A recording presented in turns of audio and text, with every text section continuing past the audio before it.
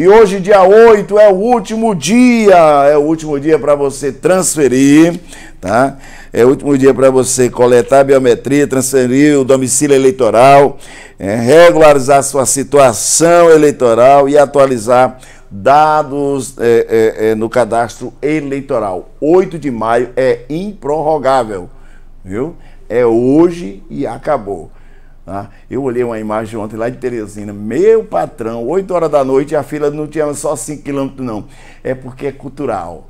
Tudo para a última hora, né? aí causa tumulto. E nós fomos lá no, no, no, no, no Fórum Eleitoral e as senhas já tinham todas sido entregues. Muita gente ainda ficou de fora.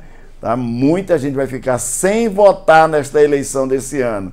Por quê? Porque deixou para a última hora, mas não foi por falta de aviso. Fala, Paulo.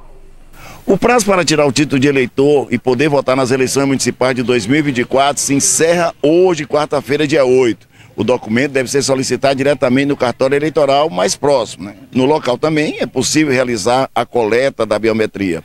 De janeiro a abril deste ano, mais de 2 milhões e 100 mil pessoas tiraram o título de eleitor. Nesse período também foram feitos quase 2 milhões de transferências de domicílio eleitoral. Portanto, hoje, dia 8 de maio, é a data limite para tirar o título de eleitor, coletar biometria, transferir o domicílio eleitoral, regularizar a situação eleitoral e atualizar dados no cadastro eleitoral. É, eu, na última vez que eu dei a entrevista para vocês, vocês lembram bem que eu disse que último dia a gente tem limite de números de senhas para serem distribuídas por conta da capacidade do cartório. Nós só temos é, três atendentes, né? E o nosso limite é 200 senhas por dia. Nós não podemos ultrapassar isso e isso está na resolução do TRE, que é por capacidade da estrutura do cartório. Então, as pessoas, como sempre, essa cultura não se quebra nunca, não muda só deixa para o último dia. Ainda ficam é, zangadas com a gente, né? Nós servidores, nós estamos aqui há dois anos, aliás, todo o tempo, né? Esperamos os eleitores com toda a boa vontade, no ar condicionado, tranquilo, mas todo mundo só deixa para os últimos dias. Então a gente não tem como é, atender todo mundo. Infelizmente, muita gente vai ficar sem atendimento, porque a nossa capacidade não tem como a gente atender todo mundo que chegar.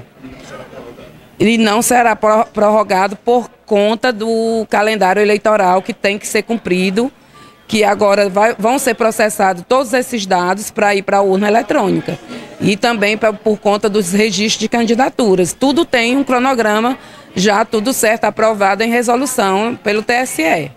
As pessoas que estão aqui dentro nesse momento, todos estão com senha, só, só serão esses é, os atendidos de hoje?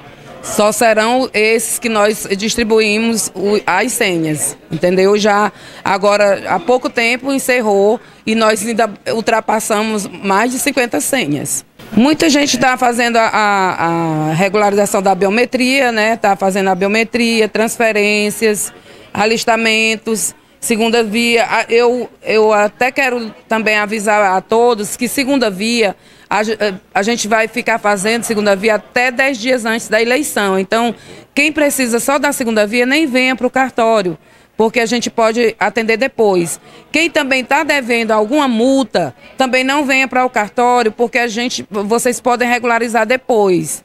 Entendeu? Agora, quem precisar, quem está precisando de transferência ou alistamento, Aí esses deveriam ter vindo e também, se tivesse devendo multa, também teria que pagar a multa para poder fazer a operação do, no cadastro. Terminando esse prazo com relação a essa transferência de domicílio eleitoral, biometria, o próximo passo do, do TRE será com relação às convenções. Exatamente. Agora começará, começarão as convenções de escolhas dos candidatos e logo após isso o registro né, das candidaturas. É mais uma, mais uma, uma ferramenta né, que o TSE disponibilizou ao eleitor, é título NET. Você é, vai no site do TRE, lá tem autoatendimento e lá tem as opções das operações que podem ser feitas no título Aí você só pode fazer lá pela internet se você tiver a biometria cadastrada. Para você fazer uma transferência, você tem que ter a biometria cadastrada. Senão, você tem era para ter vindo presencial. Mas quem tem a biometria cadastrada pode ir no site e fazer a sua transferência ou revisão de dados, certo? Agora, biometria não faz lá no, no, no site. Vamos reforçar o horário de atendimento aqui hoje?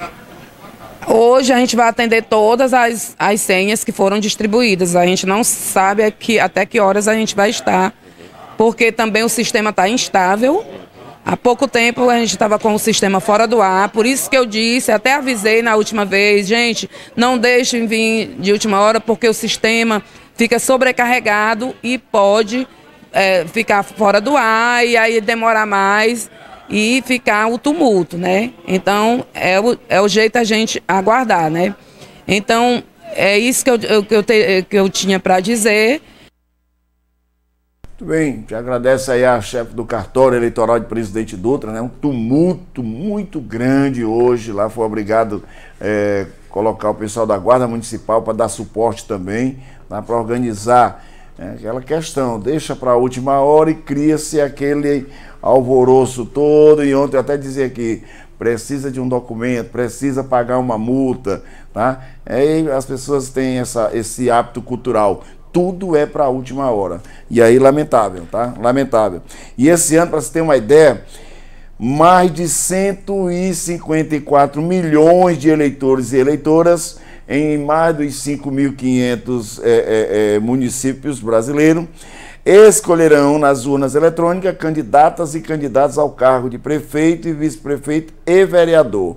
E a lei das eleições, que é a lei 9504/97, determina que nenhum requerimento de inscrição eleitoral ou de transferência de domicílio seja recebido nos 150 dias anteriores à data da votação. Então, o primeiro turno das eleições ocorre no dia 6 de outubro. Assim, o cadastro eleitoral ficará fechado de amanhã, dia 9 de maio, a 5 de novembro. Ou seja, os atendimentos nas unidades da Justiça Eleitoral e no serviço de autoatendimento eleitoral na internet só serão retomados após esse período, ultrapassado as eleições municipais de 2024.